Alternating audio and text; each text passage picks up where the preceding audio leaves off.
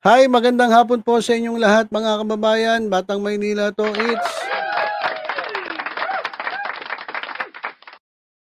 Alright.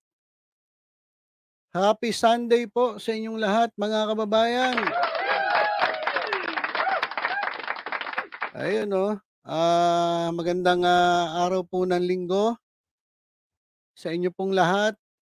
Ayan, dito po sa ating ah, mga online na viewers na talaga na mga walang ah, humpay na sumusuporta dito sa ating YouTube channel. Magandang magandang araw po sa inyong lahat. Sa live viewers po, ah, magandang ah, Sunday. Roland Stanislao, Shiro Kanzaki, Ma'am Chris Rose, Marilam, Chris Angel, Gerson ah, Baitan, Alexander ah, Handa. Ah, buti pa si Alexander, laging handa. Silvia Tero, ayan, Daniel, Berry Sport Highlights, Merlat, OFW Life, Ma'am Lydia Manuel, maganda magandang ah, araw po ng linggo sa inyong lahat. Kamusta po ang inyong linggo? Kayo po ba ay nakapagsimba na? Ito mga kababayan ah, ah, pag-usapan natin. Etong si ano si Pangulong Bongbong Marcos. Ayan. Hi Marites Carillo Samonte, Ma'am Florigna, Ma'am Nina Chupapi o May Marie, Miles Garcia, at Green Day Rancid. Welcome po sa ating Sunday edition ng Batang Maynila to. It's Okay. Nabalitaan nyo na ba? Nabalitaan nyo na ba itong ah, nangyari? Alam ko nabalitaan nyo na to kasi nung isang araw pa ata ito. Ito pong si Presidente Bongbong Marcos ay ah, ipinagtanggol. Oh. Ipinagtanggol si VP Sara Duterte. Kasi 'di ba, nako, ilang ilang araw din nating binatikos itong si Vice President Sara Duterte dahil dun sa kanyang ano, no comment. Ah, dun sa kanyang no comment regarding po diyan sa issue ng West Philippine Sea. Oh. 'Di ba? Naku, ha- halos lahat po mga kababayan eh, halos lahat po ng ano ng ah, ah, anti-Duterte o hindi naman anti-Duterte. Ah, galit lang sa mga kumokontra sa gobyernong Marcos. Eh, naku, talaga namang binatikos itong si Vice President Sara Duterte kasi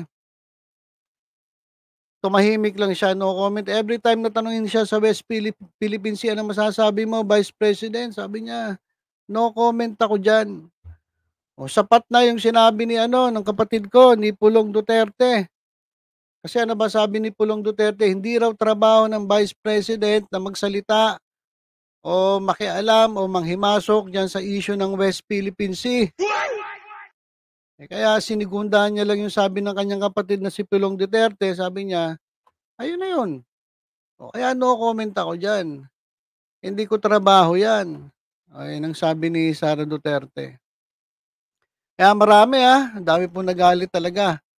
Kasi sabi ng iba, ba, bilang isang ah, second highest position, second highest ah, elected official ng bansa, dapat ay ah, kahit papano naman marinig sa'yo na ipinagtatanggol mo itong ating bansa laban sa China.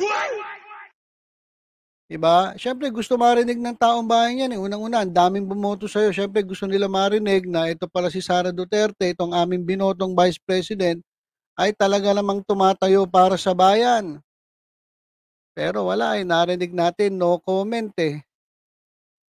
Ah, at yung no comment daw mga kababayan, ano raw ibig sabihin ng no comment? Sabi ng mga ng mga hindi sang-ayon sa kanya. Ano sabi? Itong no comment daw, ito raw yung dalawang salita, yung pinaka dalawang salita, ah, pinaka traidor na dalawang salita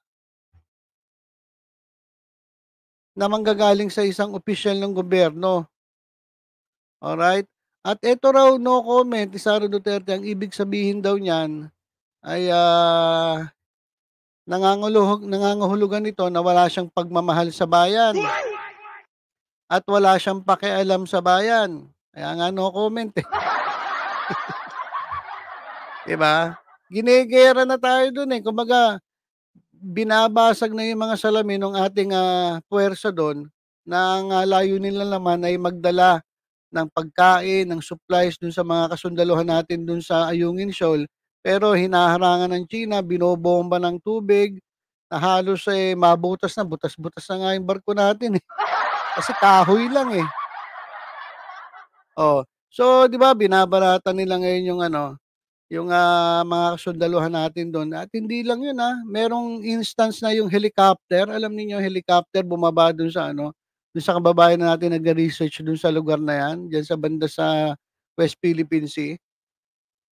So yun nga ano, isa na namang pambubully. So binubully talaga tayo ng China. Tapos nung tinanong si si Vice President Sara Duterte, ano masasabi niya, sasabihin niya, "No comment." 'Di ba? Nakakagigil mga kababayan kasi hindi na hindi dapat gano'n ang ine-expect natin na sagot mula sa isang ano, sa isang, ah, second highest, ah, elected official. 'Di ba? Siguro maraming nadismaya, eh, kasi ang daming bumoto sa kanya, ilang milyon. Tapos ewan ko lang kung nadismaya, o natuwa pa. 'Di ba? Dapat nadismaya, eh, yung mga bumoto sa kanya, dapat nadismaya, eh, kasi ano ba namang klase 'tong binoto naming Vice President, wala man lang pakialam sa Pilipinas, hindi man lang nagsalita, na kahit sabihin niya lang na, "Ah, mali yan, hindi tama yung ginagawa ng China." Oh, hindi naman kinakailangan na batikusin niya yung China, eh, sasabihin niya lang, kahit sabihin niya lang, "Ay hindi, mali po yang ginawa ng China at dapat ay, ah, eto ay ano, ah, aksiyunan ng ating gobyerno." Dapat gano'n, eh, pero biruin mo no comment. Ibig sabihin wala siyang pakialam dun sa ginawa ng China, wala siyang pakialam dun sa tinang ah, sa sa naranasan ng ating mga kasundaluha ah, kasundaluhan diyan sa ano, karagatan ng West Philippine Sea. Oh. Kaya maraming nagalit, maraming nagalit dito kay ano, kay Sara Duterte. Tapos ngayon eto. Oh, isa pa bakit natin ano, bakit natin pinagtatanggol si ah, bakit natin sina si kumbaga, eh, sinisita si Sara Duterte, kasi gusto natin dapat tumulong naman siya dito sa gobyerno ni Marcos. 'Di ba? Kaya nga kaya nga sinasabihan natin Dure Duterte, magsalita ka naman. Tulungan mo naman itong si Marcos, si Marcos halos nakikipaglaban na sa China tapos ikaw tahimik ka lang. Dapat tulungan mo naman itong gobyernong Marcos. Tulungan mo naman si Marcos. Ah, makita naman namin na talagang nandun ka sa ano, sa gusto ni Marcos, sa side ni Marcos. Pero hindi natin nakita yun, eh. Eh, tapos eto mga kababayan, ang nangyari eh, eto si Presidente Marcos, pinagtanggol pa si Sara Duterte. Sabi niya okey lang daw yun. Okey lang daw yun na no comment si Sara Duterte. Ano ba yan? Kayo guys, kayo, eto, ah, eto real talk lang po, ah, mga kababayan.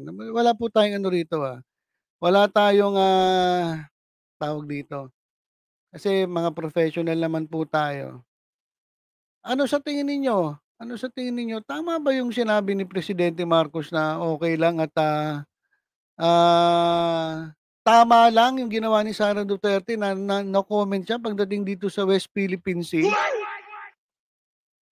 Kaya yung mga ano, mga Marcos po dito, ano sa tingin ninyo? Sige nga po mag-comment nga po kayo.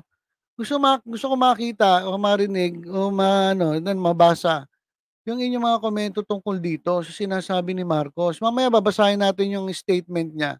Pero sa tingin ninyo mga kababayan, ano kaya? Anong masasabi niyo? Anong masasabi niyo mga kababayan? Ah? Anong masasabi niyo? Kasi biruin niyo, tayo tanggol tayo ng tanggol, kung ano-ano sinasabi natin kay Sara Duterte. Para din naman ito sa gobyerno ni Marcos. Para at least hindi mahirapan si Marcos. Kinakailangan nating marinig itong si Sara Duterte na kumampi kay Marcos kasi isang ano lang sila, 'di ba? Unit team nga sila, eh, isang gobyerno lang sila, eh. Tapos ngayon magugulat tayo. Imbis na sang-ayunan tayo mas kumampi pa kay Sara Duterte. Ah, sa totoo lang marami, marami pong nagulat at maraming medyo nadismaya dito kay Marcos. Ano nangyari? Ano nangyari? Bakit gano'n? Bakit bakit gano'n? Kumbaga para tuloy sabi ng ibang mga kababayan natin, ang hirap mo naman ipagtanggol. Ang hirap Ang hirap mo ipagtanggol halos nakikipag-away na kami dun sa mga DDS vloggers. Halos, ah, wala na kung ano-ano ng pinagsasabi ng DDS vlogger sa sa amin, dahil sa katatanggol namin sa sa gobyerno. Tapos ngayon biglang kakampihan mo pa si Sara Duterte. Parang nangyari ano ba 'yan, ang hirap mo naman ipagtanggol PBBM.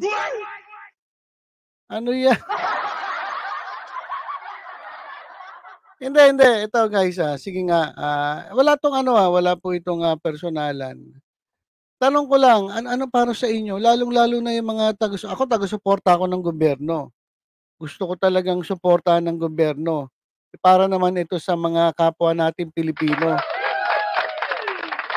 Ah, kaya 'di ba hindi niyo naman nakita na sumuporta ako sa Duterte kasi ayoko talaga sumuporta sa grupo na walang wala ng ibang ginawa kundi siraan ng gobyerno, siraan ng presidente, siraan ng ang, ah, ginagawa ng gobyerno. Ayoko po talaga dun. Mas gusto ko pang sumuporta sa gobyerno.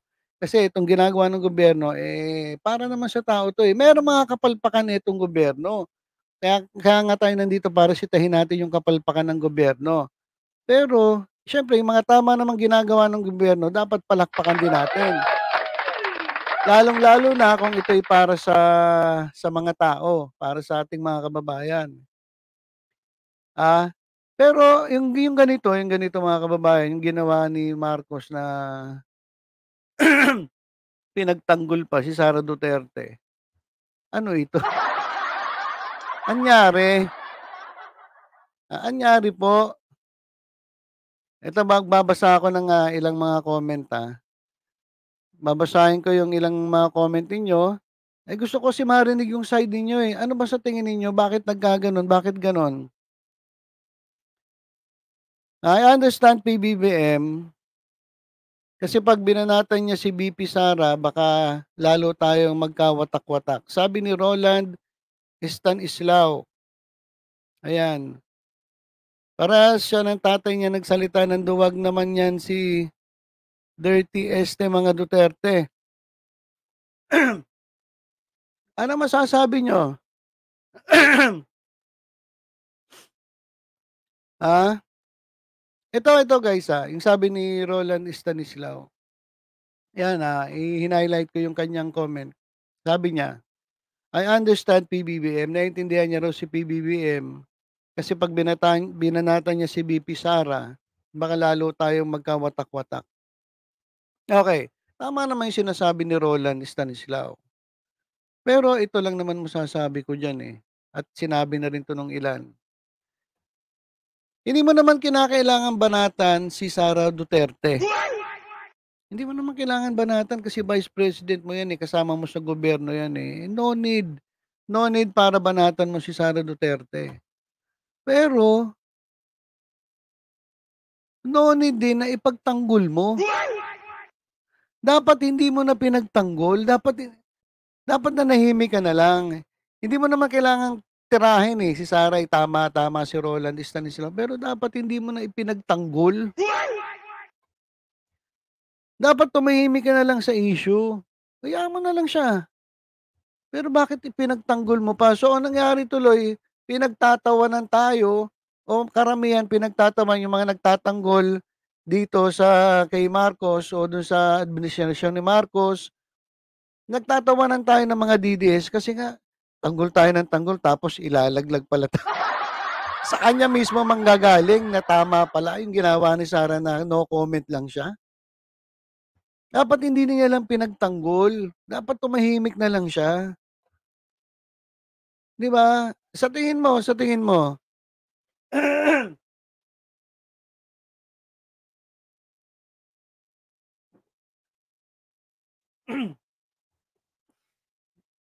Sa tingin mo sa tingin mo, sino yung kanina yung hin-highlight ko yung comment? Stanislao. Roland, sa tingin mo sa tingin mo, 'di ba? Tama naman, eh, hindi na niya dapat tirahin si ano, si Duterte. Pero dapat hindi niya na lang ipinagtanggol. Sabi tuloy ng iba, nangyari 'to, nangyayari tuloy, eh, lutang. Etong si Presidente Marcos. Oh. Ah? Sinasabi tuloy lutang etong si Presidente Marcos, minsan lutang, eh. Puwede naman siya manahimik na lang, eh, hayaan na lang niya. O kung 'yun ang comment ni Sara Duterte, tumahimik na lang. Pero bakit ipagtatanggol mo pa? Ha? Ayaw siguro ni PBBM na may gulo, kumbaga focus siya. Hindi nga, eh, mas lalo ngang gumulo, eh. Okey naman, eh. 'Di ba? Oh, no comment si Sara. Eh, dapat nag-no comment na rin siya dun sa comment ni Sara, dapat hindi na siya nagsalita. Ah. Oh, dapat 'di na lang siya nagsalita. Hindi naman niya kailangang banatan si Sara, dapat tumahimik na lang siya, hindi na lang siya nagsalita, hindi niya na lang dapat ipinagtanggol. Oh, sabi tuloy ng iba, oh, sabi mo, ano? Sabi sa'yo, sabog that time.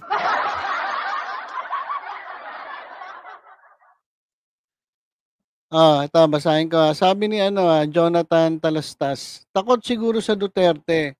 Kasi baka totoo ng issue ni PBBM sa dami ng ibinabato ng mga Duterte pati mga DDS vloggers, dapat kinasuhan na niya kasi libelous na 'yun kaya talagang, ah, totoo ang, ah, bintang ng mga DDS. Ah, 'yan ano, personal na ano 'yan, personal na opinyon ni Jonathan Talastas 'yan. Kasi madami talagang binabato laban kay Marcos, eh. 'Di ba? Pero wala namang konkretong ano, eh, wala namang konkretong, ah, ebidensya. Madali kasi maglabas ng ebidensya, eh, pero yung concrete, ah, evidence na admissible sa court ay ang mahirap nila i-provide. Wala naman silang pino-provide na gano'n. Madali mambintang, eh. Mahirap lang magpatunay, sa totoo lang. Ha? So kayo, guys, sige nga, ano-ano masasabi niyo dun sa sinabi ni Marcos? Agree ba kayo sa sinabi ni Marcos? Na ipinagtanggol niya si Sara Duterte?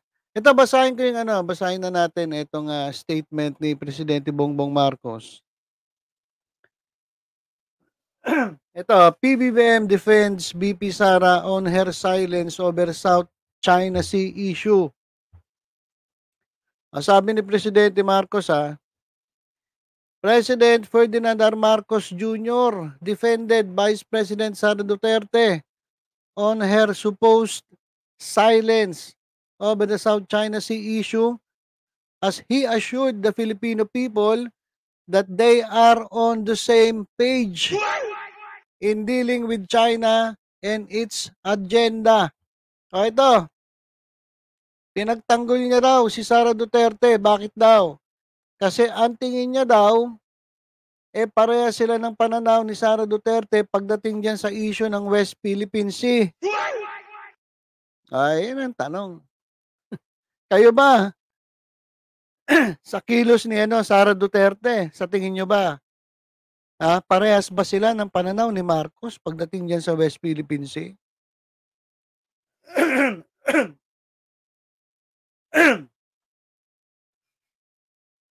Kasi pinagtatanggol ni Marcos itong Pilipinas, pero si Sara tahimik lang. Oh. Sa tingin nyo ba, parehas sila ng pananaw ni Sara Duterte at ni Marcos pagdating sa issue ng West Philippine Sea? Kampi ba si Sara Duterte sa Pilipinas?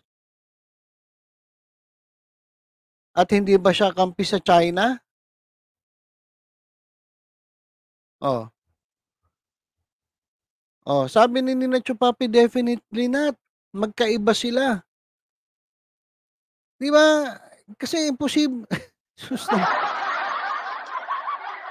magkaiba sila eh. Yan, sabi ni Shiro, magkaiba. Magkaiba sila ng pananaw. Iba ang pananaw ni Sara, iba ang pananaw ni, ni Marcos pagdating diyan sa issue ng West Philippine Sea. Yung yung yung yung yung, ah, pananaw ni Sara, ayan din yung pananaw nung mga Duterte. Mas pabor sila dun sa ano, sa China kaysa dito sa Pilipinas. Oh. Ang ibig ba sabihin ni Marcos nung sinabi niya na ano, na parehas sila ng pananaw sa West Philippine Sea ni Vice President Sara Duterte, ibig sabihin niyan, ah, kinokontra ni Sara Duterte yung yung agreement ni ano, ni tatay niya diyan sa China? Oh. Kasi 'pag sinabi na parehas sila, ibig sabihin kinokontra ni ano, hindi sang-ayon si Sara Duterte dun sa ginawang, ah, agreement ng tatay niya. Pero sa tingin niyo ba kinokontra ni Sara yung sinabi nung tatay niya? Hindi. Hindi ko maintindihan, ano anong nangyari, bakit gano'n? Biruin mo ipagtatanggol ito sana nga, eh, sana na lang tumahimik na siya, eh, dapat di niya na lang binanggit yan, eh, para walang issue, eh. Ngayon tuloy nagka-issue, eh, pinagtatanggol pa niya, eh. Pinagtatanggol mo yung Vice President mo na anong ginagawa, sumasama pa dun sa mga prayer rally na ang ginagawa ng dun sa prayer rally ay talagang, ah, sinisira ang iyong gobyerno. Minumura ka harap-harapan, pinipersonal ka ng mga taong nandun sa prayer rally. Sino yung mga nagmumura sa'yo na sa prayer rally? Ito mismo kapatid, tatay ni ano, ni VP Sara Duterte.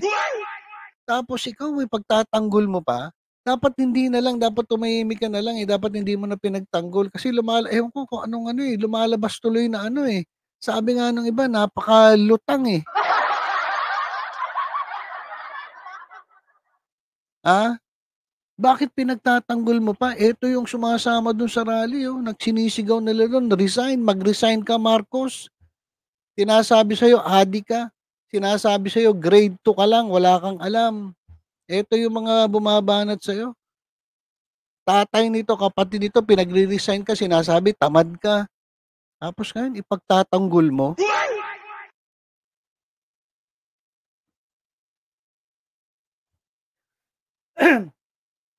Ano nangyari? Ano nangyari sa'yo, Mr. President? Kaya alam niyo sa totoo lang yung mga DDS tuwang-tuwa, eh. Tuwang-tuwa sila, eh, dun sa ito, sa pronouncement ni Marcos na 'to, tuwang-tuwa, eh. Oh, sabi tuloy sa ano, sa mga nagtatanggol kay Marcos, "Oh, ano ngayon?" "Ano ngayon, pahiya kayo." Ha? Pahiya kayo ngayon, pinagtatanggol niyo, ah, ano ano ngayon, tapos ngayon ito presidente pinagtatanggol ninyo, ano? Oh, sumasang-ayon kay Sara Duterte, okey lang daw yung no comment na ano, na ano, may no comment na statement. No comment na statement. 'Di ba? So, yan ang nangyayari. Mr. President, dapat 'wag naman ga Yung iba tuloy, alam niyo sa totoo lang yung iba, nung narinig ito, sabi, "Ano ba naman 'yan?" Kumbaga nadismaya, eh, nawalan ng gana, kakatanggol, tanggol ng tanggol, tapos pagdating dito, eh, mangyayari kakampihan mo pa tuloy yung nagtatang ano, yung nag-ano, yung kumokontra sa'yo. Ano ba 'yan? Sabi ni Gina Leonares, "Hindi ko na alam tuloy kung si Marcos ba kampi ng taong bayan o kampi ng mga Duterte." Ricardo Licerio, strategy lang 'yan, alam na 'yan. Ano paanong strategy? Ay, anong nangyari?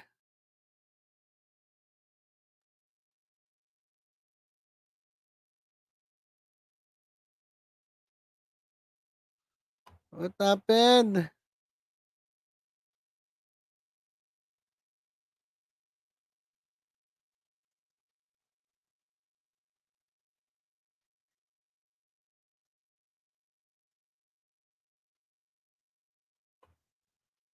Hello, hello, ano nangyari?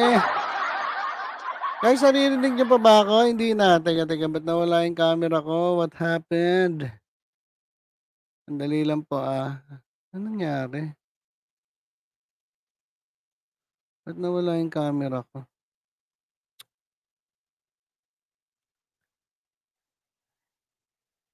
Sandali lang po, ano nangyari, ah?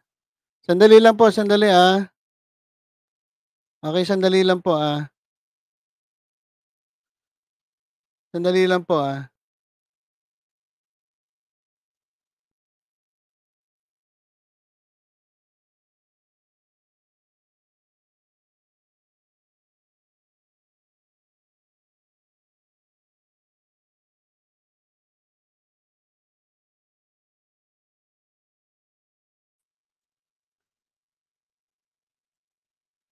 Hello, 'yan. O okey na po ba? Ano nangyayari? Ano ba 'yan? Wala po talaga kapag, ah tayo'y walang assistance. Wala pong ayuda. Ayan, salamat po, ah, nandiyan pa rin kayo. So, 'yun mga kababayan. Ah, sabi ni Marcos, ah, ito na basahin na natin, diretso na natin. Ulitin natin sa umpisa. President Ferdinand Marcos Jr. defended Vice President Sara Duterte on her supposed silence over the South China Sea issue as he assured the Filipino people that they are on the same page in dealing with China and its agenda. Ay sabi ni Marcos parehas daw sila same page pero maraming naniniwalang hindi. Ah, at pinamam pinamumukha kay Marcos, hindi. Maraming tao nagsasabi na hindi kayo parehas ng page ni Sara Duterte sa pag-deal ninyo diyan sa China at diyan sa mga agenda diyan. President Marcos, oh, kailan niya sinabi 'yan? Ah, made the remarks. Anong siya inatanong diyan sa media interview diyan sa Washington DC on the criticism being lobbed at Duterte for her silence on China issue. Sabi ni Marcos, the Vice President Duterte is part of the government. But it is not her role or position as Education Secretary to talk about China.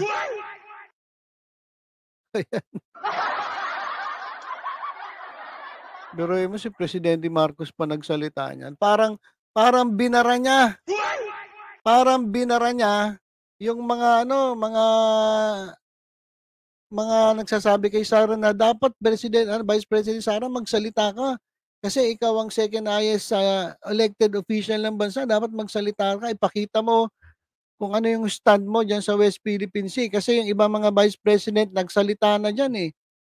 Sino ba mga dating vice president nagsalita? O si Binay, si Leni Robredo, sino pa yung mga vice president na na nagsalita at nagpakita ng kanilang ano, pananaw laban niya sa ginagawa ng China. May mga vice president nagsalita, bagamat hindi nila trabaho, nagsasalita sila kasi syempre mahal nila yung bansa nila eh. Tapos ito, tayo nananawagan, magsalita ka naman, BP Sara, pakita mo naman na mahal mo Pilipinas. Magsalita ka, wag pura ka, no comment. Tapos ngayon, ito, naririnig natin si Marcos, sabi niya, hindi daw part ng trabaho niya bilang Education Secretary na magsalita about China.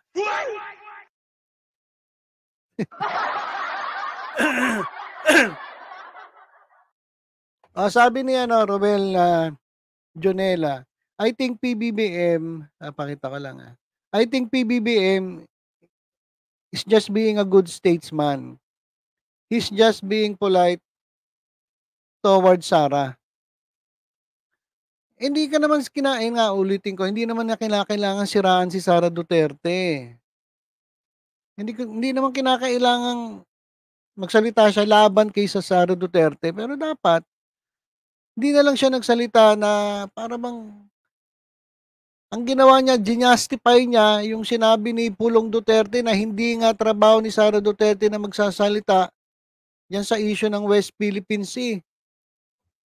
Alam niyo dapat nung tinanong si Marcos dito, alam niyo pinakamagandang sagot dapat ni Marcos nung tinanong siya kung ano masasabi niya dito sa silence ni Sara Duterte pagdating sa West Philippine Sea. Alam mo pinakamagandang dapat sinagot ni Marcos?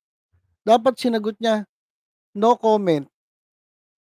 Hindi, sa totoo lang. Dapat no comment din sinagot niya. Oh. 'Di ba?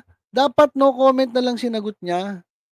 At least walang ano, oh, at least, ah, safe yung sagot niya, no comment din ako diyan, eh. Tinanong siya, "Ano masasabi mo? Etong Vice President mo" Hi, Maricor Torres, magandang, ah, hapon. "Ano masasabi mo dito kay ano, kay, ah, Sara Duterte? Pagdating sa West Philippine Sea, tahimik lang siya. No comment siya. Ano masasabi mo, Mr. President?" O di dapat sinabi niya, "No comment." No comment din po ako diyan. O dapat gano'n, mas maganda pa yung gano'ng sagot, kaysa yung sinabi niya pinagtanggol pa niya si Sara Duterte, ah, at sasabihin niya na ano, na naku, tama naman si Sara, eh, dapat 'di talaga siya nagsasalita, hindi niya trabaho 'yan. 'Di ba? So, anong nangyari? So, anong nangyari mga kababayan, yung mga nagtatanggol sa kanya o mismo ang ang binara mismo ni ni ano, ni ni Marcos. Oh. Yung mga Pilipino na gusto ko lang gusto lang naman makarinig ng magandang salita galing kay Sara Duterte tungkol dito sa West Philippine Sea, eh, biglang ano, biglang nasupalpal mismo. Pinagtawanan pa ng mga vloggers ng DDS. O kasi kayo ano ano-ano yung sinasabi kay Sara, o eto si presidente mismo, Marcos mismo nagsabi, tama lang yung ginawa ni Sara Duterte na manahimik lang. Oh. 'Di ba? Kaya sabi tuloy ng iba lutang Ano ba 'yan, Presidente Marcos? Para tuloy lumalabas sabi nung iba lutang daw etong si Presidente Marcos. Sabi nung iba, ano ba 'yan, ang hirap mo ipagtanggol. Ang hirap mo naman ipagtanggol. Eh, kapag ganyan alam ninyo, 'pag 'yan imbis na, ah, ano na dapat kasi tumahimik na lang siya, pinagtanggol pa niya, alam niyo ibang mga nagtatanggol siguro mag-iisip-isip na rin, eh. Mag-iisip-isip na rin, eh. Teka baka naman na salita tayo ng salita tapos biglang sabihin na naman ni Marcos, eh, ipagtanggol niya etong si Sara Duterte. Ah, di kawawa lang yung nagtatanggol. 'Di ba? Ano pa? Sige tuloy na natin, ano yung sinasabi pa? So, I think we are all in line because I am very sure that if Inday Sara had some very serious misgivings about what we are doing in terms of foreign policies, she would bring that to me, sabi ni Presidente. O sabi ni Marcos, sigurado raw siya na parehas sila ng ano, ng pananaw ni Sara Duterte. Oh, 'di ba? Sabi niya pa pa parehas kami Sara Duterte kasi alam ninyo, parang inile-lecturean pa tayo ni Marcos. Kasi alam ninyo, kung merong si Sara Duterte hindi nagugustuhan pagdating sa foreign policy, sasabihin niya sa akin 'yan. Sabi ni ano, ni Marcos. Sobra ano 'no, sobrang sampalataya niya dito kay Sara Duterte. Sabi niya kasi, eh, sa tingin ko parehas kami kasi hindi naman niya sinasabi na kumokontra siya, eh. Oh, wala naman siyang sinasabi sa akin na against siya dun sa ano, sa aking, ah, foreign policy. Oh, kaya iniisip ni Marcos iniisip ni Marcos, eh, parehas sila ng pananaw ni Sara Duterte.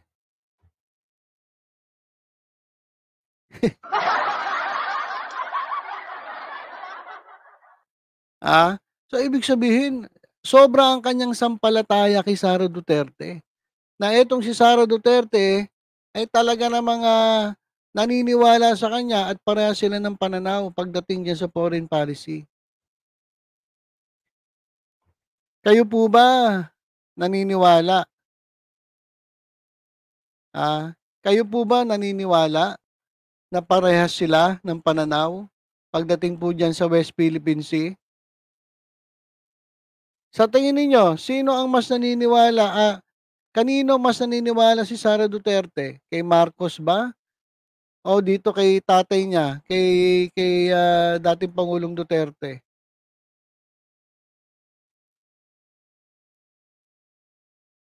'Di ba? Sus naman.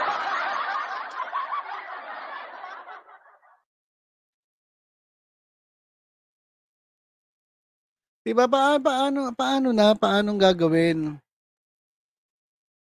Kitang-kita naman natin mga kababayan, kitang-kita naman natin na magkaiba sila ng stand. Ni Sara Duterte. Pero bakit gano'n? Ba't sinasabi ni Marcos parehas sila ng stand ni ano, ni Sara Duterte?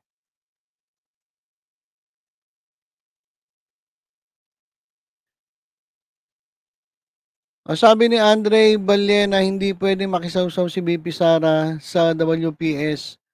Nag-usap na 'yan silang dalawa ni BBM. Talaga po ba? Nag nagsalita nag-usap na ba sila? No comment nga lang siya ng no comment. No comment siya kasi etong tatay niya, eh, talaga namang maka-China. Oh. Tapos etong si Marcos, Presidente Marcos, eto lumalapit ngayon sa Amerika. Sinasabi ng iba maka makakano, maka-Amerika. Tapos sasabihin ni Marcos, parehas sila ng pananaw ni Sara Duterte. Ibig sabihin sumasang-ayon si Sara Duterte na etong, ah, si Marcos, eh, kumampi dito sa Amerika. Gano'n ba 'yun?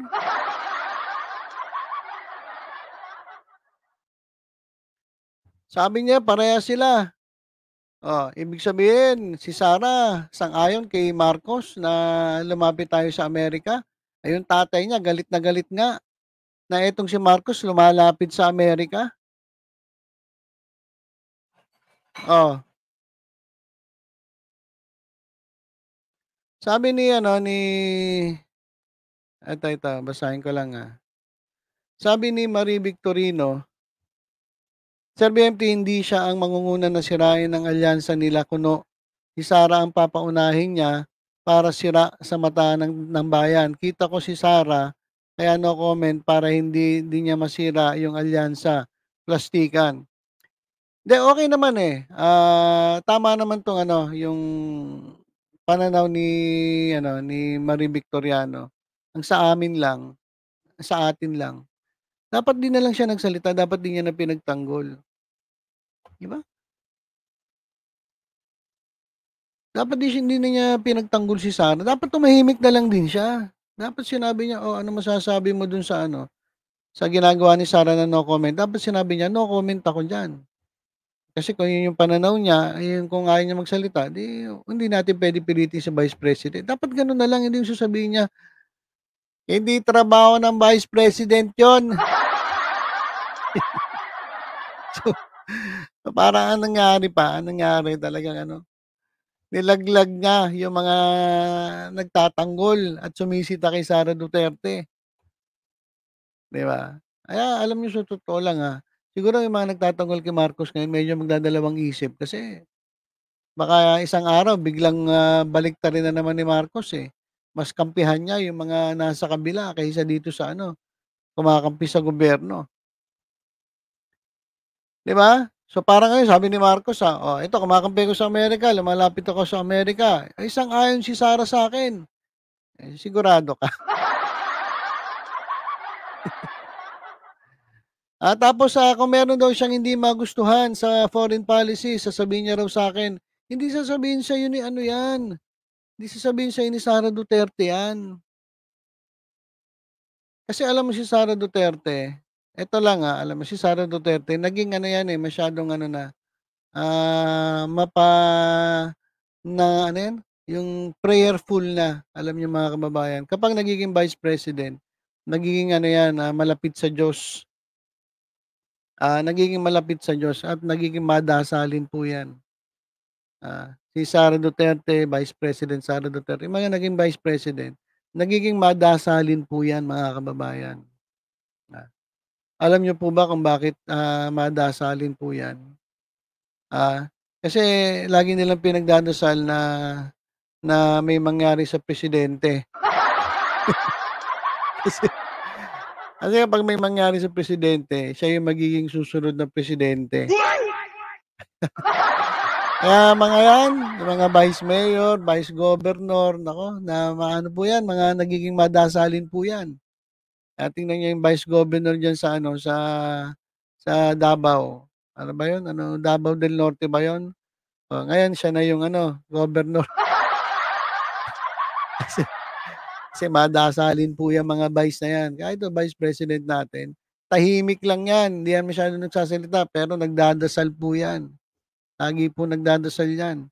Para 'pag may mangyari sa presidente, siya na ang susunod na presidente. Ah? Ah, ito tuloy natin, tuloy natin itong ano. Ah, ito.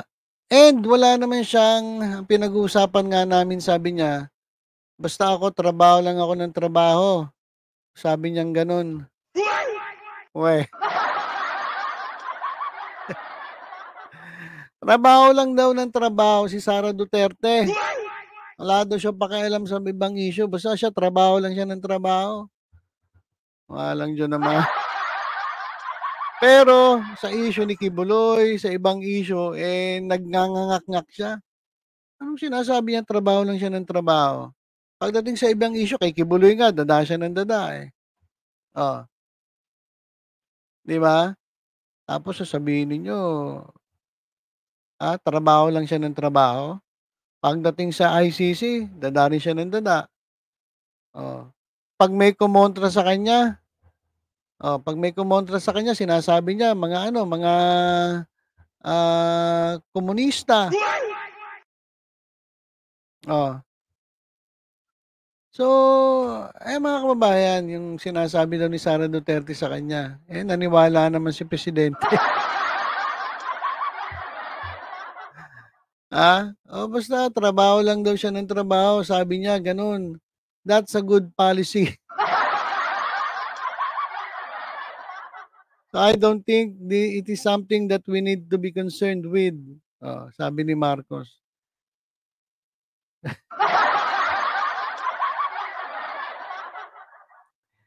So, ito mga kababayan, ah, si ano raw, si Sara Duterte, puro lang daw trabaho. Puro lang daw trabaho. At iyan daw ay magandang polisiya, sabi ni Marcos. Kaya wala naman daw dapat ano, wala naman daw dapat na pag-isipan o hindi tayo maging concern dito sa mga issue na ito.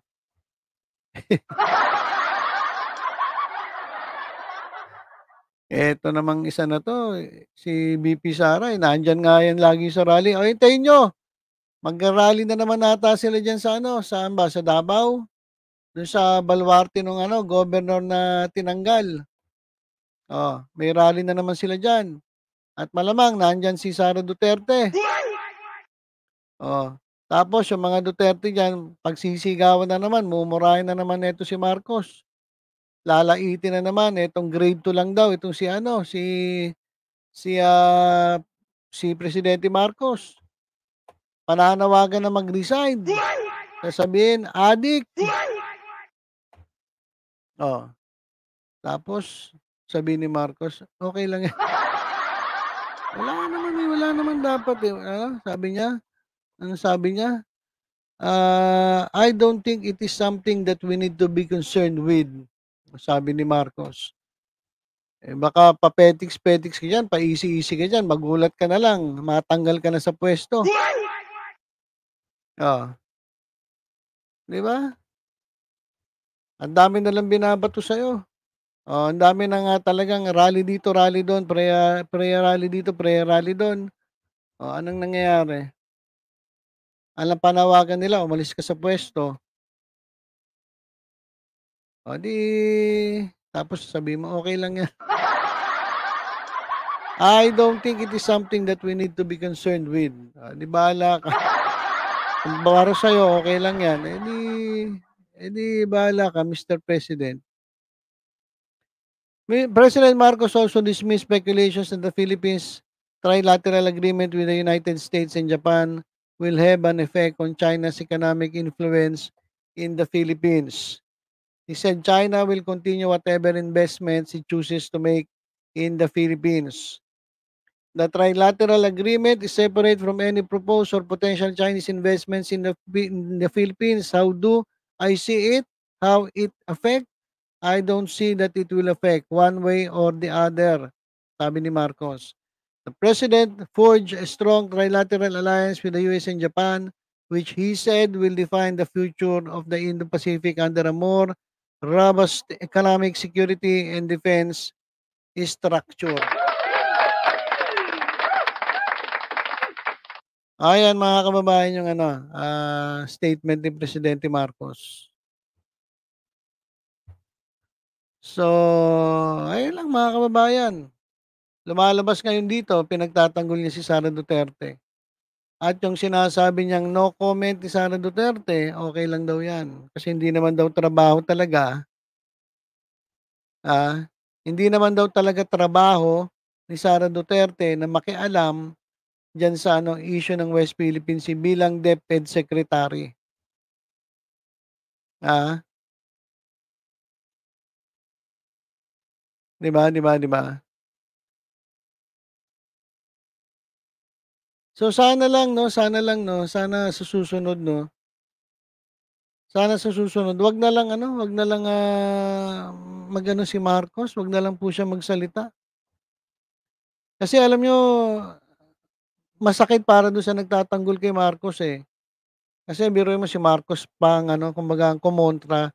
Siya pa yung gumawa ng dahilan para balikan itong mga nagtatanggol sa kanya. Nananawagan tayo kay Sara Duterte na magsalita, sinisita natin, binabatikos natin Sara Duterte, bakit tahimik siya pagdating sa West Philippine Sea. Tapos bigla mangyayari pala, sabihin ni Marcos, siya mismo magsasabi, okay lang yan. Hindi trabaho ni ni ano yan, ni Duterte yan. Eh, wala. Lutang ang mangyayari. Mangyayari tuloy, parang lumalabas, parang ang hirap mong ipagtanggol. Parang ang hirap ipagtanggol ni Presidente Marcos. Sana 'no, sana 'wag na maulit yung ganito. Di mo naman kinakailangang birahin si Sara Duterte kung iniingatan mo yung pagkaibigan ninyo. Pero sana hindi mo na lang ipinagtanggol na ang nangyari nilaglag mo yung mga tao na sumusuporta sa gobyerno at gusto lang naman na na magsalita ito si Sara para marinig ng taong bayan kung siya ba talaga ay concern sa Pilipinas o yung kanyang uh, katapatan, allegiance ay nasa China. Ayun lang naman gusto nating malaman eh kasi lumalabas mas may ano siya, allegiance niya nasa China eh. Eh, sabi pa ni Marcos ngayon, allegiance niya nandito sa Pilipinas dahil parehas daw sila ng pinatutunguhan. Ewan ko sa'yo. Ewan ko sa'yo, Presidente Marcos. Ayun lang mga kababayan, yun lang po. Ah, nakakadismaya lang, nakakadismaya na yung iba sa atin talagang todo sita eh, no?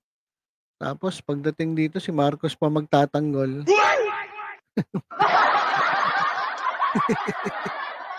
ano ba yan? Okay, so uh, bilang pagtatapos, syempre uh, magbasa muna tayo ng mga nag-comment dito. Shoutout po natin si Ina ni Johara, yan, Sarcasm, Florigna, syempre, Shirokan Sachs, Chirconsaki, Lemon Lime, Ma'am Hanaka, yan. George Vargas, Omay Marin, uh, Roel Dionela. Yan, magandang magandang uh, hapon po. Alright, Luis Villanueva, Burns TV. Ayan. Gina Leonares. Ah, uh, ano ba? Nona Egan, 'yan magandang, ah, hapon po sa inyo. Kalin D, no comment. Dapat yan na lang sinabi ni Marcos, eh, 'no, no comment 'to para ano, para at least at least, eh, wala namang ibang ano, nadamay sa statement ni ano, ni ni ano, ni Marcos. 'No? Marisa Suzuki. Yan, Andrea Valle. Magandang magandang hapon sa inyo. Yan.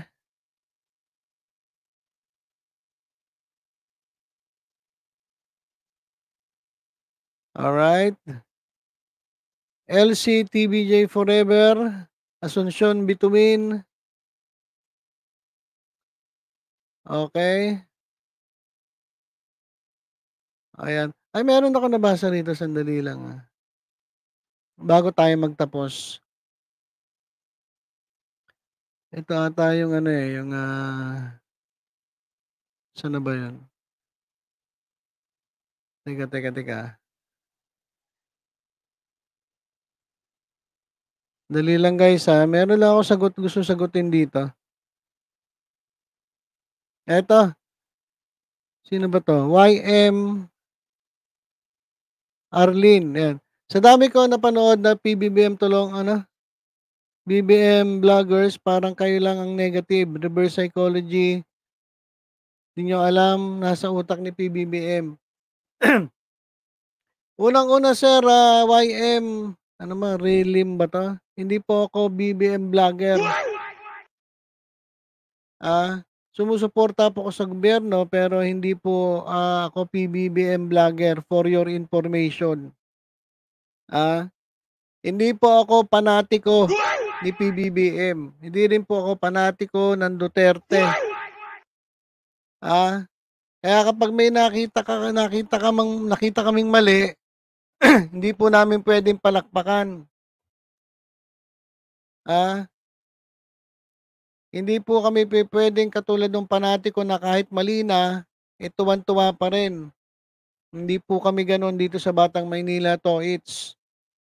Ah, ang tingin namin dito lumalabas na nagiging lutang si PBBM. Marami po siyang nagawa sa bansa natin, hindi naman natin sinasabi na hindi siya magaling at hindi natin siya kailangang suportahan. Pero sa issue na 'to na ipinagtanggol pa niya si Sara Duterte na ang ginagawa ni Sara Duterte ay puro ano, ginagawa, puro pananahimik lang sa issue at, ah, do'n nga sa sinasabi ng tatay nila, eh, kapatid niya wala siyang masabi. Oh, ngayon sa tingin mo reverse psychology 'yan? Anong reverse psychology sinasabi mo? Anong reverse psychology? Alam mo ba ibig sabihin ng reverse psychology? Mr. YM Arlene? O narinig mo lang sa ibang vlogger siya, reverse psychology? Ah, saka bakit kinakailangan mong i-reverse psychology? Eh, si si Duterte nga yung tatay niya mismo binabanatan na ni Marcos, eh. Bakit kinakailangan pa ng reverse psychology? Sa mga panahon ngayon, sa mga ganitong klaseng oras, hindi mo na kinakailangan ng reverse psychology. Dapat sinasabi mo na kung ano yung nararamdaman mo. Kasi obvious naman, eh, 'di ba? Ay hindi lang natin alam kung ano talaga nasa isip ni Marcos pero wag mo sabihin ano, ah, reverse psychology. Pero sa tingin namin, ayun nga sinasabi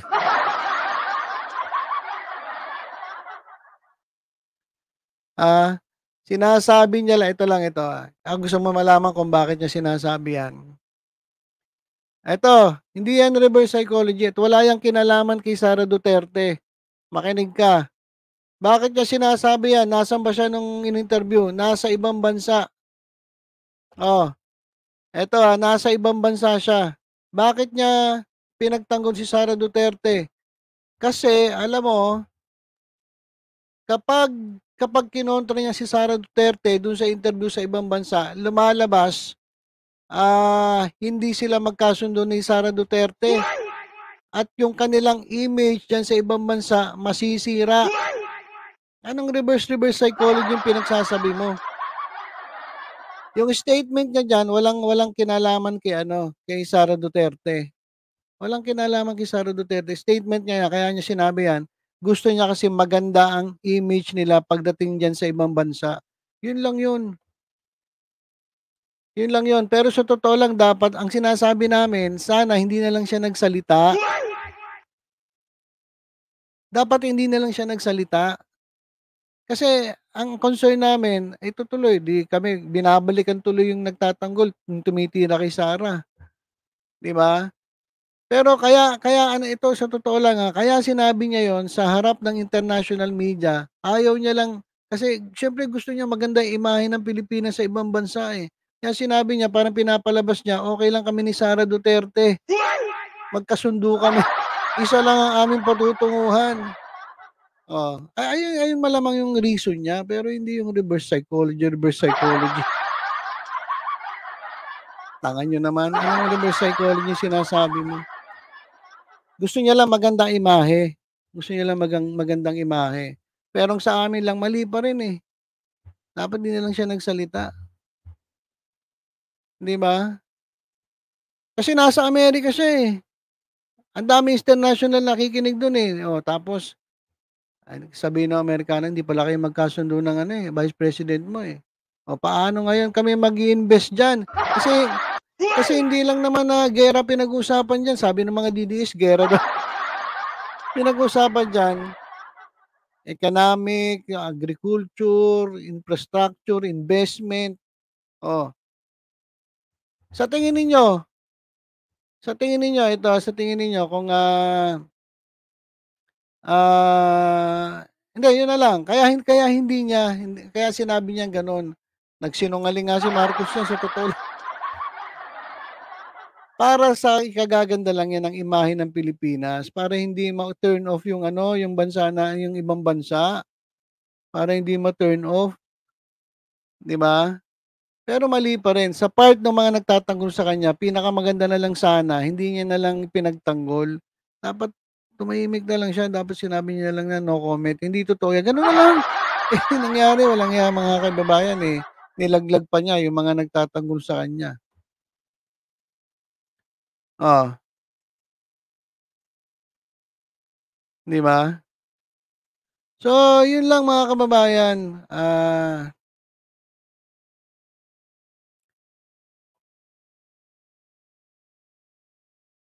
Sana po, sana po hindi na lang ano, maulit na gano'n ang gawin ni Marcos na parang inilaglag pa niya yung mga nagtatanggol sa kanya. Ah. Oh. Ang nangyari mga kababayan, ayaw niya ma-turn off yung ibang bansa sa sa Pilipinas, pero na-turn off naman yung mga Pilipino kay Marcos dun dahil dun sa sinabi niya. 'Di ba? Alright, so yun lang mga kababayan. Ah, maraming maraming salamat po sa inyong pagtutok. Maraming salamat po sa pakikinig at, ah, sana po, ah, tutok-tutok lang po kayo dito po sa ating YouTube channel na Batang Maynila Toys sa mga susunod pang updates. Ingat po tayong lahat, ah. God bless po.